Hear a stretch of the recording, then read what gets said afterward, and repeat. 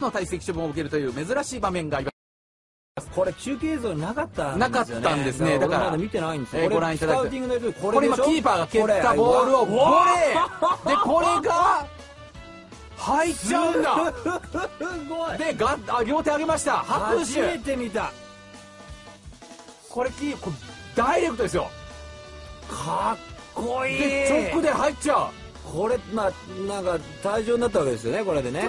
審判をまあ侮辱というかその前からいろいろあったわそうですけどもね。これはでももう一回見えない。見ましょう見ましうょう。いけますか？